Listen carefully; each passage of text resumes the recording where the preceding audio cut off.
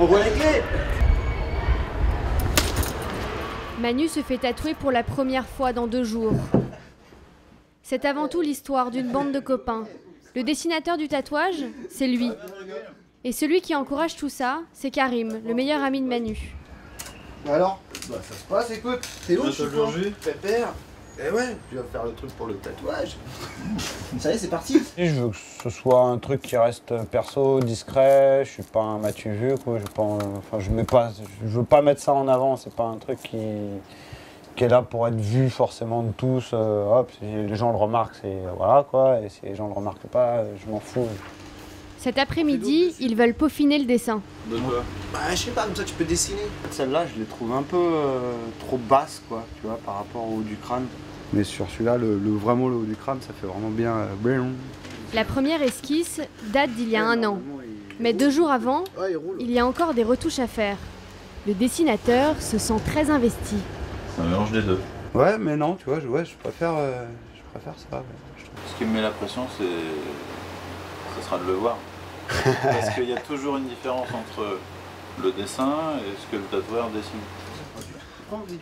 Pendant que le dessin s'affine, Karim trouve un moyen de bien visualiser le tatouage.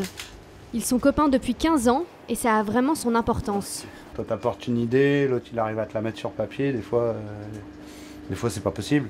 Donc euh, là, il a, bien réussi à retranscrire ce que, je voulais et ce que je lui avais demandé, quoi.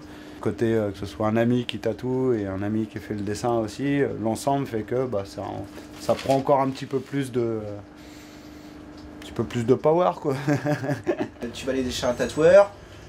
Euh, Pour euh, 300 euros, bah, tu vas choisir euh, Un truc dans un, un truc dans un catalogue qu'il a déjà fait. Il va te faire un dessin qu'il a déjà préfet, qui va t'arranger un peu à ta sauce, mais qui sera pas. euh, il sera, ça sortira d'un catalogue, quoi. Ça y est, Manu est content, le dessin lui plaît. Comme ça Mais le lendemain, chez lui, il reçoit un avis nettement plus critique, celui de son colocataire. Ah, Il est quand même pas gentil, hein. bah moi je sais que ça, que ça représente un Ganesh parce que je connais les marques en haut. Il a vraiment été loin, je trouve. Comparé à l'esprit de Ganesh. euh, Donc euh, moi je le trouve moche perso. S'il le trouve bien. euh. Quand t'auras 80 ans avec ton tatouage, c'est pas grave. Ah la bif, comment on se foutra de sa gueule Il sera tout fripé, tu le verras à peine, quoi. c'est un truc. Mais pas question de remettre en cause cette composition mûrement réfléchie. Le dessin de Manu, il est partout chez lui. Ce sont ses souvenirs d'Inde, un voyage qui a changé sa vie. Et voilà. Et le, le plus gros souvenir d'Inde qui aurait pu devenir un tatouage, c'est ce qu'ils appellent une, une roue de la vie, Pourquoi c'est pas devenu un tatouage? Parce que c'est trop compliqué.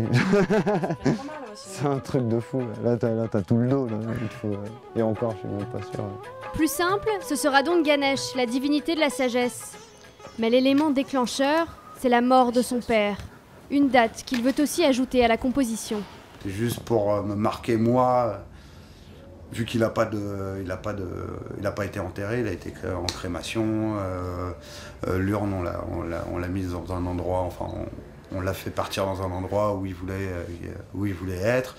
Donc voilà, il n'y a pas de pierre tombale, il n'y a pas d'endroit pour aller, euh, pour aller euh, se recueillir entre guillemets. C'est pas notre truc.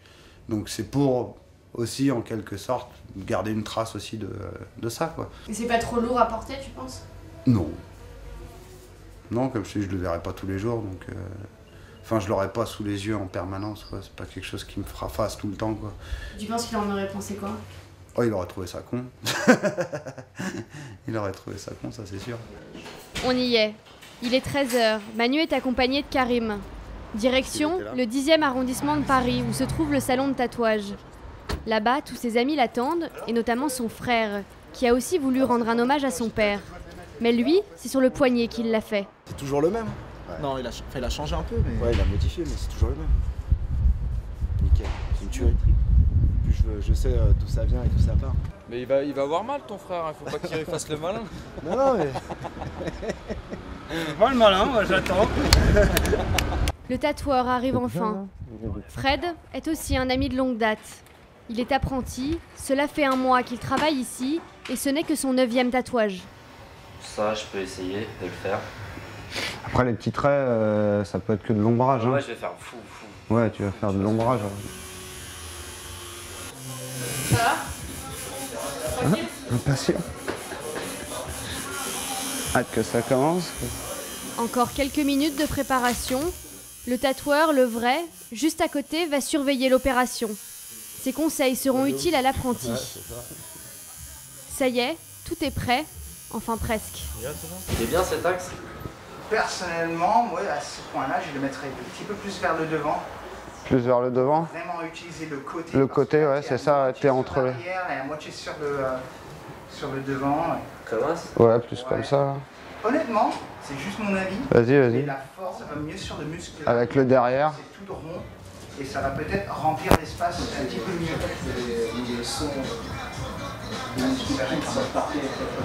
C'est l'attente en fait qui est longue. Quoi. Une fois que c'est parti, c'est parti. Quoi. Son frère, ses copains, tout le monde est là.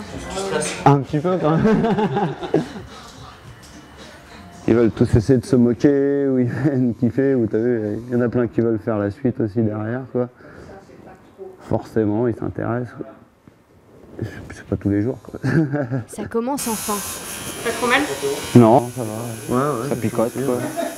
Mais c'est pas trop violent, quoi. Mais deux heures plus tard, quand Fred attaque le remplissage des oreilles, ce n'est pas tout à fait la même histoire. Ah, c'est vrai que ça pique fort. Hein. C'est un peu costaud Ouais, quand même. Ah, ouais, ouais. Bah, c'est surtout le... la rotation en fait.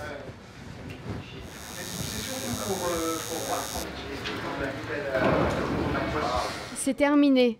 C'est d'abord les copains qui immortalisent son tatouage pour le partager instantanément sur Facebook. Bien, mal au dos. en fait, j'ai plus mal au dos. La pause. Mais euh, ouais, c'est cool. J'en mets quoi. Enfin, Manu apprécie. C'est exactement ça, hein. t'as même réussi comme euh, t'avais peur à faire les, les petits traits. Ouais. Avant de partir, Fred lui passe une pommade cicatrisante et lui fait quelques dernières recommandations. De toute façon, tu vas voir, faut bien faire rentrer le truc, quoi, tu Ouais. vois. Faut bien en mettre la dose. Ouais. Au total, l'opération aura duré 8 heures.